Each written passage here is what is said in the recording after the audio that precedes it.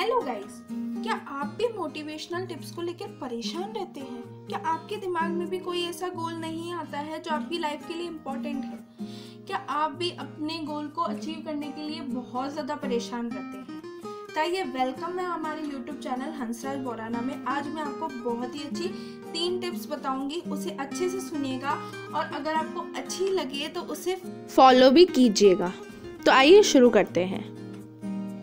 जब आप किसी दूसरे जैसे बनने की कोशिश करते हैं तो आप हमेशा सेकंड नंबर पर आते हैं। इसलिए भीड़ का हिस्सा ना बने, क्योंकि इंजन को कोई नहीं खींचता, वह खुद अपनी ऊर्जा से चलता है।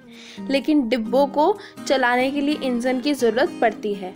मेहनत हमेशा रंग लाती है, लेकिन आपको विश्वास होना चाहिए।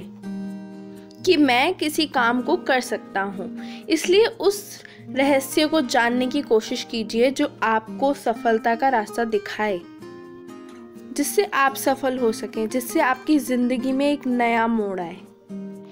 किसी मकसद को हासिल करने के लिए मेहनत करना जितना ज़रूरी है, उससे कहीं ज़्यादा ज़रूरी है कि आप कठिन परिस्थिति में खुद पर नियंत्रण रखना। क्योंकि मिसाइल सिर्फ़ मिसाइल नहीं होती, बल्कि वह उस सोच से उपजती है, जो किसी भी देश पर मंडरा रहे खतरों को कम करने का दावा बनाती है।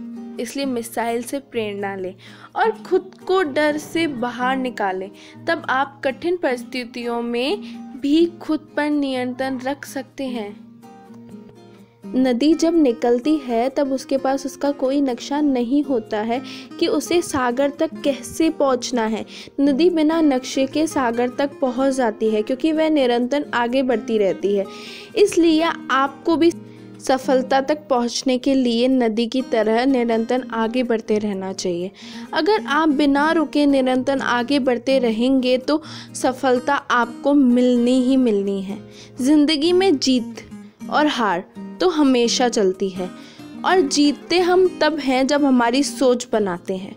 जो मान लेता है कि वो हार गया तो वो हार जाता है। और जो ठान लेता है कि वो जीत गया तो वो जीत जाता है।